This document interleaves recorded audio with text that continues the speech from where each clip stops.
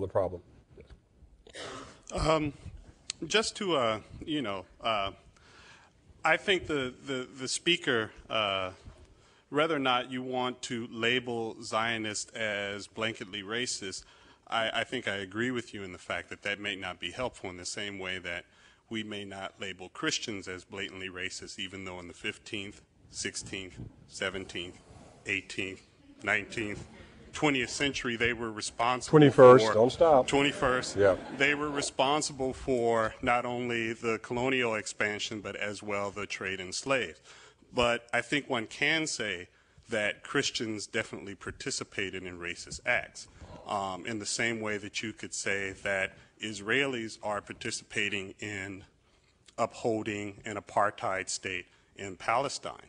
Um, and even though I think I do agree with you in saying that simply uh, blaming Israel may not be the solution to the global problem that is happening right now. I think our reluctance to address what is going on and address the apartheid situation in Palestine is indicative of the larger issue that we have with racial factors that we refuse to talk about. I think you're right. And it's, it's very interesting that, that this happened before many of you were probably born, but I remember more than 20 years ago, the idea of even talking to Yasser Arafat was unacceptable.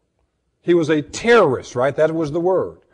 And that having dialogue with him, uh, it was inconceivable. That's what worries me more than anything else, that we have sort of identified people and placed them in camps. I agree with what I think is the sentiment behind your question. How do we have a serious discussion to solve what's going on in the Middle East? And I, I think that defining Zionism is one way. I don't think it's comprehensive enough to address the problem that I am seeing and that the world is seeing. Uh, and that's what worries me uh, a great deal. And I'd like to figure out a better way uh, to do that.